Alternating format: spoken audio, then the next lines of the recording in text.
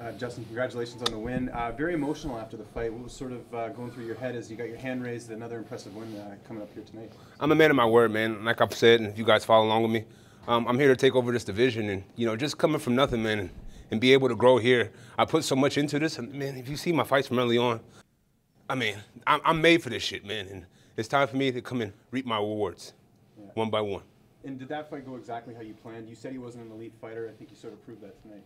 I'm the elite fighter. I am the uh, elite fighter in the heavyweight division.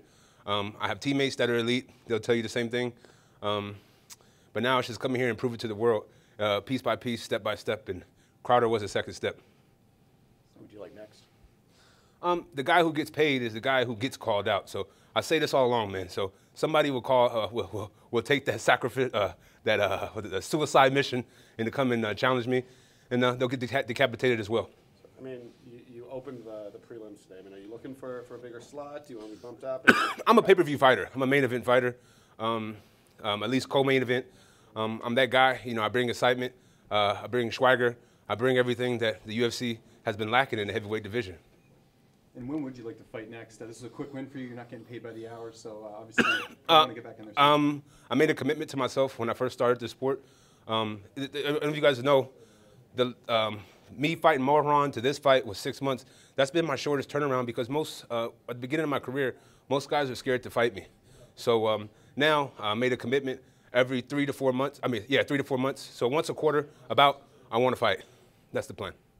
Any particular card you want on next year? I don't give a fuck, man. Three to four months. you weighed 265, right? Yes. Do you have to actually cut weight? Um, not as much uh, now because now I have resources. But at the beginning of my career, uh, I came down from 298. Um, now I'm coming down from 275. Um, in this next fight, this is this is the reason why it, um, I take a little bit of time off between each time because I literally outwork them all.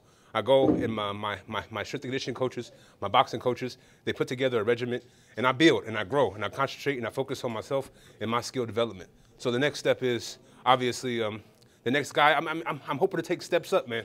That's it, steps up. And Crowder, no offense to him, but he just wasn't on my level it is what it is. And um, I went in there. Um, my coach was telling me to kick and shit. Fuck that. I'm going. I'm head hunting, and I'm going for the finish uh, because I saw it in his eyes. He did not want to fight me. How are you planning on celebrating tonight? Um, I don't drink. I don't smoke. Um, I just go uh, go back to the drawing boards, man. See what I did wrong. Um, see how I got hit a few times, um, and go plug in those little inadequacies I have. Well, we saw you drinking a Coke after the fight. Uh, what's on the post-fight cheat meal list? Oh, now that's that, that's a topic we could talk about. Yeah. You know, I'm thinking about Shake Shack. I saw Shake Shack down the street. Y'all, y'all see that shit? Yeah. That shit delicious. Yeah, so I'm probably Shake Shack. And when I get home, I spend about three days of just binging. I'm on the couch like a fat bastard, and I'm just eating my ass off. So it'll probably be some Shake Shack, then Wingstop, and then Five Guys. That's my shit. Can I ask about your relationship with Daniel Cormier? He yes. tells me about some of the uh, the verbal battles that you guys have in the gym. Yeah. How would you describe? Are you trying to start shit? I'm not trying to start. Don't be trying to start shit, man. I just met you, man. Let me try to start I'm just, shit. Is, is there's a fun little rivalry between you I two, mean, right? of course, man. Uh, he's he's he's a funny guy. I'm a I mean funny guy. I guess he won't call me funny. Um, I'm we're serious. We're both really serious when it comes to this craft. Um, you know, it's it's a competitive rivalry in the gym, but that's how you become great. But you you feel like you're on his level, even though he's the champ, right? Man, oh, this guy trying to set me. is, is, that not true? Um, I'm the best. Sure. So I mean, I, I don't. I'm, I'm, not gonna point fingers. These guys are my teammates. I'll never talk down or anything about my teammates. Um, they're great. They're all great. But I'm great as well. So when you see like Ngannou and Overeem fighting tonight, you feel they can kiss my fucking ass, and they can get it next if they call me out. Yeah. Why can, don't you call I, anyone out? Why do you wait? Man, what happens is when you're calling people out, man, you're not making the money, man. So I'm the guy that people be chasing down. Okay. You, you talked. Your first answer when we asked you, you talked about sort of coming from. I think you said coming from. Nothing, yes, sir.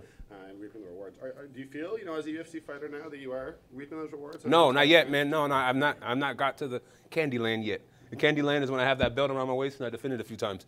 Then I'll, I'll start telling you. I start reaping my rewards you talked about a three to four month turnaround, but also fighters being afraid to fight you. Yeah. If that big marketable opponent doesn't like step forward, will you take a, you know a lesser known opponent to just stay active? I'll talk to my management, man, and, and you know I have a really good uh, relationship with my management. Uh, most times guys challenge me, and I just say yes. So we'll see, I mean, I don't give a fuck, man. This is a fucking fight. I, I grew up doing this shit, man. on the street for no money, free. So this ain't shit to me, and I get paid to have fun. This time next year, what are we saying about you? Where are you in the heavyweight division? On a championship hunt, like I am right now. Hopefully, I'm, I'm a lot closer than I am right now. Okay, thank you. Thank you. Thank you guys, appreciate it. Thank you. Thank you. Hey, don't be starting shit, Aaron. Motherfucker. All right, guys, thank you, thank you guys.